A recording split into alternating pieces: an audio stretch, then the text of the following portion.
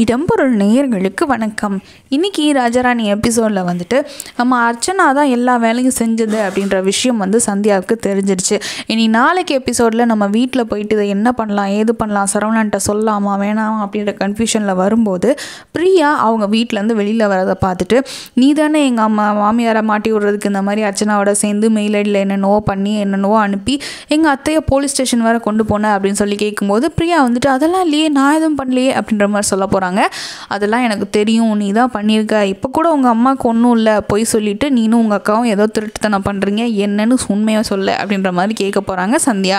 அதுக்கு அந்த பொண்ணும் வந்துட்டு அதெல்லாம் இல்லை. நான் அப்போல்லாம் பொய்லாம் சொல்லலை. அப்படின்ற மாதிரி என்ன தான் அழுப்புனாலும் அர்ச்சனாவை பற்றி எல்லா விஷயமும் தெரிஞ்சனால நம்ம சந்தியா வந்து ரொம்ப கான்ஃபிடென்ட்டாக வந்து நீங்கள் தான் இதை பண்ணீங்க. அப்படின்றத வந்து உண்மையை வாங்கிடுறாங்க. அது மட்டும் இல்லாமல் நம்ம சரவணனுக்கு வேற கொஞ்சம் ஒரு டவுட்டு எங்கே தான் போனாங்க? ஏன் நம்ம பேரை யூஸ் பண்ணாங்க? எங்கே போனாங்க? என்ன பண்ணாங்க? அப்படின்ற மாதிரி அவங்க ஒரு ஒரு பக்கம் யோசிச்சுட்டு வீட்டுக்கு வர போகிறாங்க இதை இதை தவிர நாளைக்கு எபிசோடில் வேறு ஏதாவது இன்ட்ரெஸ்டிங்காக நடக்கும் அப்படின்னு நீங்கள் எதிர்பார்த்தீங்கன்னா கீழே கமெண்ட் பாக்ஸை சொல்லுங்கள் கூடவே மறக்காமல் சப்ஸ்கிரைபும் பண்ணிடுங்க